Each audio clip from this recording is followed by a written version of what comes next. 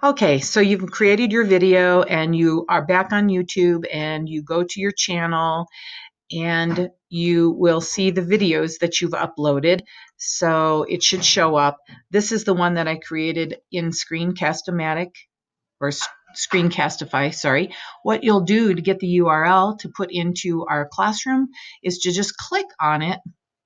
You can just copy this link. Let me mute my tab go ahead and copy this link right here. And I'm using two separate accounts. Sorry about that.